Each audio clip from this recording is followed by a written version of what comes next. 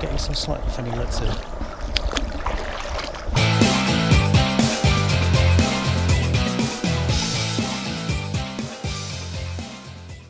My plans to run from Newquay to Perranporth have been scuppered because the camping area that I was hoping to have again um, has been taken up. I think due to the success of a, a very good review I on TripAdvisor. so uh, anyway, it's a great place. So uh, I decided to come down to the Lizard. So I'm staying at um, the youth hostel, which is behind me there, top of the hill, um, and overlooks this stunning bay at Coverack. So give you a panoramic.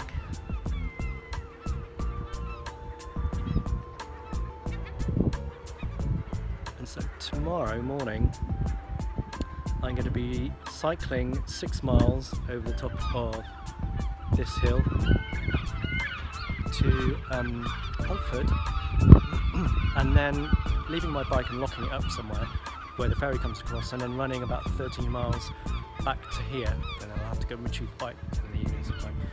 But um, I'm, I've signed up for a duathlon uh, a trail duathlon so run, mountain bike, run. Uh, so I need to get a bit of training doing both cycling and running in the same day. But um, yeah, this is a, a, stunning spot down here.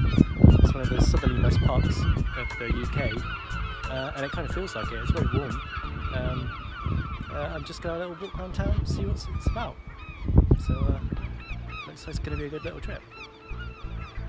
So recently there was a flood in Coverack, um, which has washed some of the road away, and I'm in one of the little cafes here, Archie's Loft and uh, they had over a foot of water and it was so bad it was uh, going to take the floor out that they fire brigade cut a hole in the floor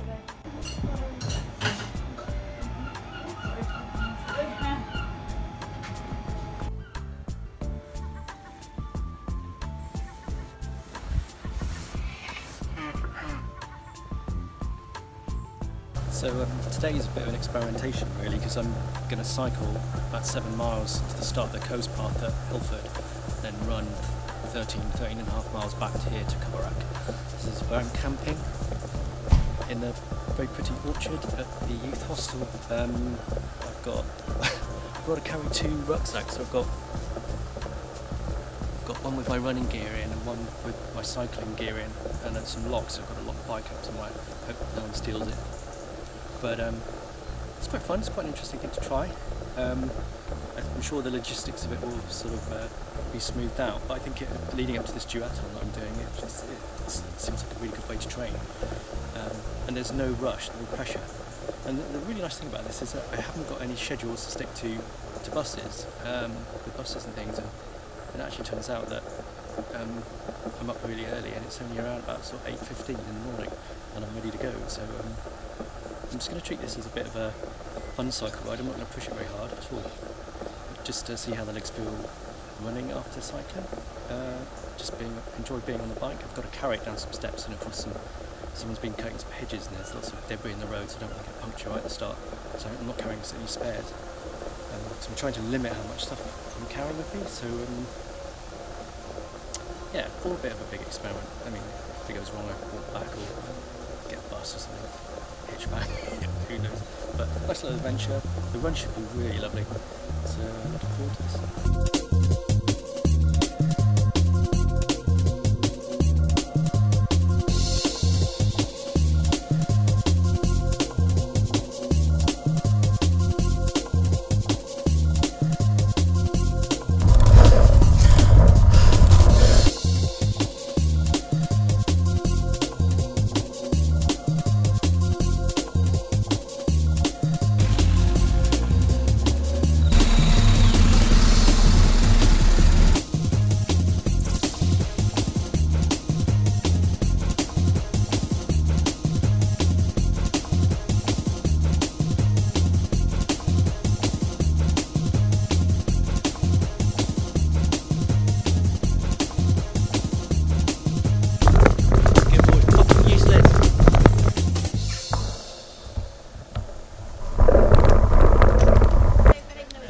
Made it to Helford after nearly being run over on my bike three times by tractors and things.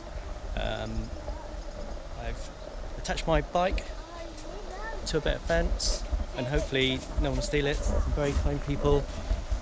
So what's your name? Matt, Matt how you doing? is going to look look over my bike, hopefully.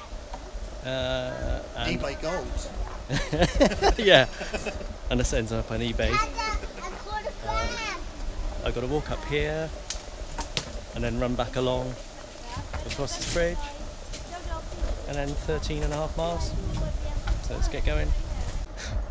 About this? Uh, this appears to be where the ferry comes in. Um, my bike's just a couple hundred meters up there, locked up. Hopefully, it'll still be there later when I come back. Um, it's quite hot today. It's going to be quite grueling. My legs, I'm going to have to stretch my legs out a little bit. I think they feel a little bit sore after the cycle ride. So I've never, I haven't tried doing this for a little while, but I think it's going to be hot, very pretty, and quite awesome.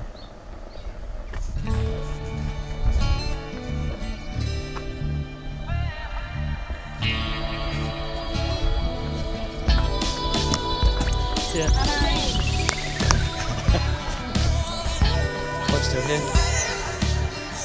Thank you very much. Have fun. Bye.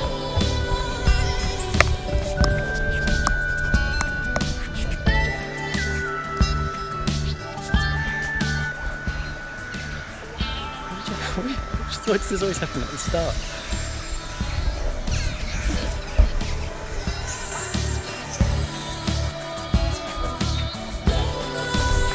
Thank you very much. Cheers. Enjoy your day.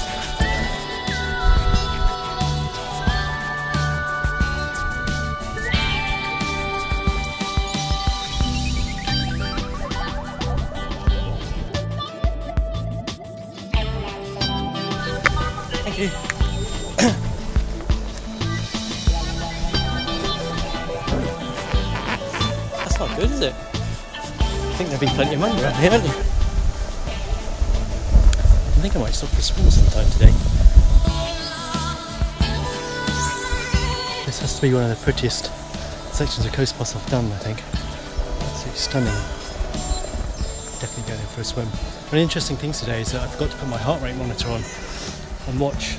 Uh, I have got my phone with me just in case, but I haven't even bothered looking at the time we started, and uh, I'm just going to treat it as a fun day out. Um, legs feel great after cycling. is quite surprising. Uh, yeah, that's fab.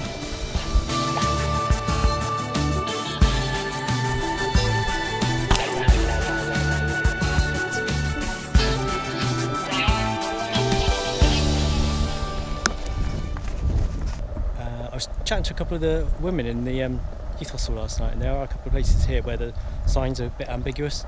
And I've come to one of them. The, the path appears to go off to the left, but the sign's telling me go straight ahead. Uh, there are a few options here. I think um, this might be the one that they said take the central one, central route. I'm not sure. I'll try the middle one. But there's a beautiful view out here. It's called Gillan Creek. That's quite a view, eh?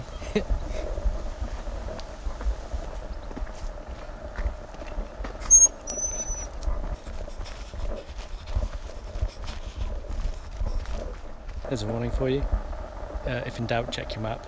I can be asked, and I've just done a third of a mile loop of a headland uh, and realised that back at that last junction by the Gillan Creek, I should have uh, gone down to the creek and tried to get ferry across. Just spoke to a nice local guy, and he said that might be able to get the ferry across. Apparently, at low tide, you can walk across. If not, there's a two mile detour. I reckon I might be able to get across that.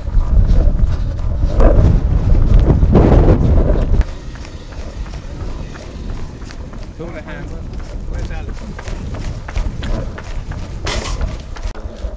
bottom and walk straight across and then go the other side and come back home. Oh, thank you. Do you mind if I film you? Yeah, hello. What's this for? Uh, I record my running uh, along the coast path and ready to come back. So, uh, yeah. Right. This very nice man says I can walk across, so I'll give it a go. Yeah. Thank you. Cheers. Anywhere?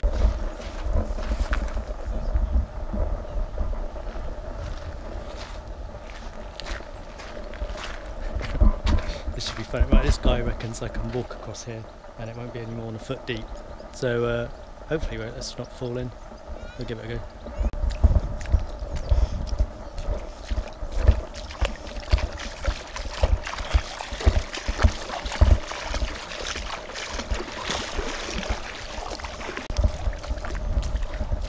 Far so good.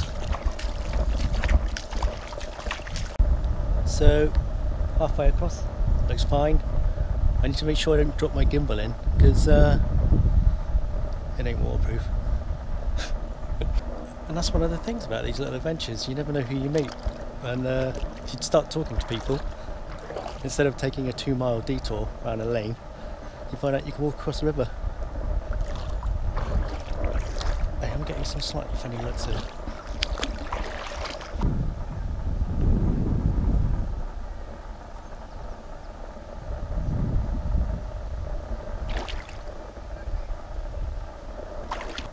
Yeah. Right, just need to dry my feet off and we'll get going again. That's not the coast guard.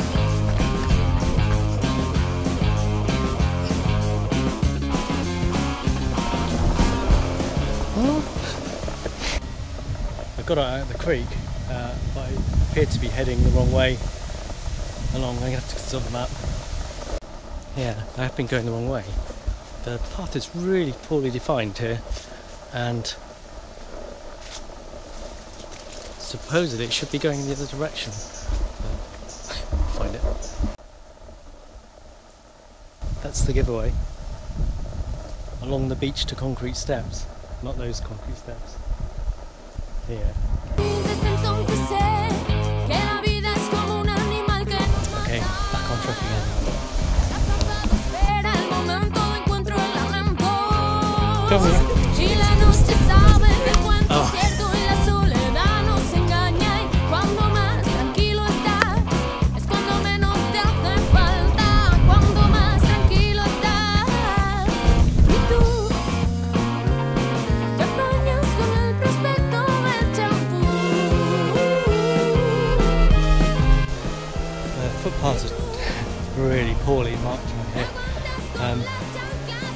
Sort of two mile detour and uh, the footpath was actually overgrown. Uh, it should take you onto the beach.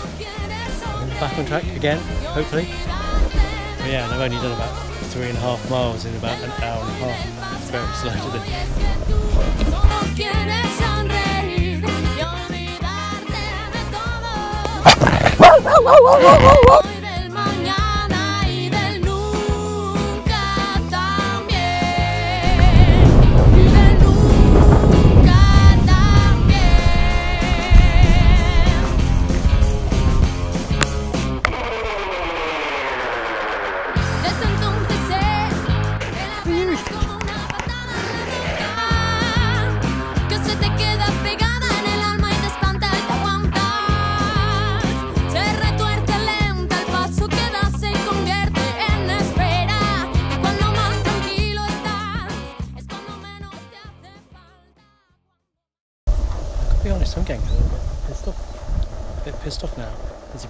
sign on the ground, and uh, there are several different uh, uh, tracks you could go on.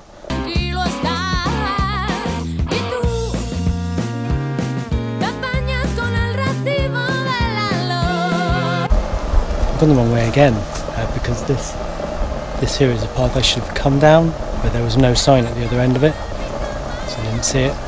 So I've actually got to go back again another quarter of a mile. Sonreír Let's cheer me up. Three and a half miles left. de todo.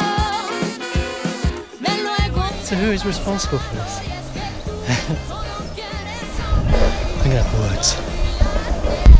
Yeah, so where that broken sign was, there's that is actually supposed to direct you through some fields to cut a big corner off. Um, so I just went up the road because I didn't realise that path was there. It looks, if it was there, it was very overgrown. Um, the battery's just packed for my gimbal, so I can't get any smooth footage. So it's going to be a bit, a bit bouncy from now on. But I think I'll just have to stop and get some panoramas. It's a shame because this is one of the most beautiful sections of coast path I've ever run, but it's probably quite clearly the uh, most poorly signposted. So um, I'm going to speak to the Southwest Coast Path uh, Association and uh, probably contact the local council and try and get them to sort this out because it's just it's really unfair for people walking a long distance. You know, people are carrying big rucksacks and, or people running like me. You can end up spending a lot of time not only spoiling your day, but you know, running out of energy and um, there aren't a huge number of places to get food around here either. So yeah, it needs to be sorted out. I will cheer up. Everything's falling apart. Camera just backed up. Just taking the battery out and it's uh, started up again. Uh, right, just been diverted, uh, but I think I've worked out where I am again. So off to Dean Point.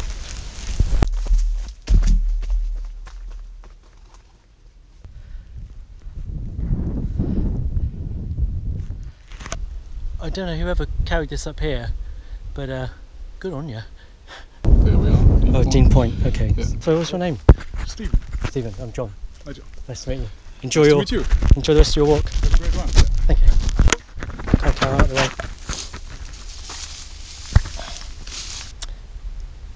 There's a cow sitting in the uh, southwest coast path. I'll, I'll interview them and see why.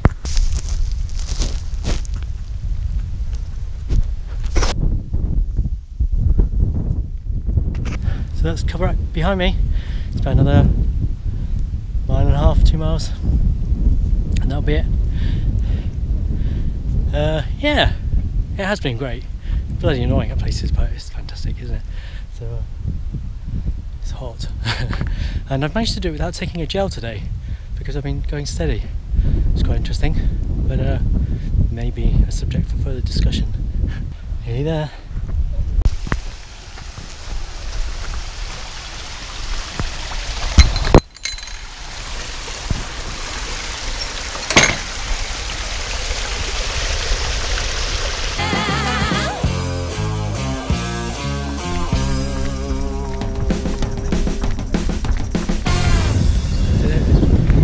No. Uh, no idea how long it took. I'll have to check when I get home. But uh, knackered. I'm going try and get a smoothie. But uh, yeah, awesome work.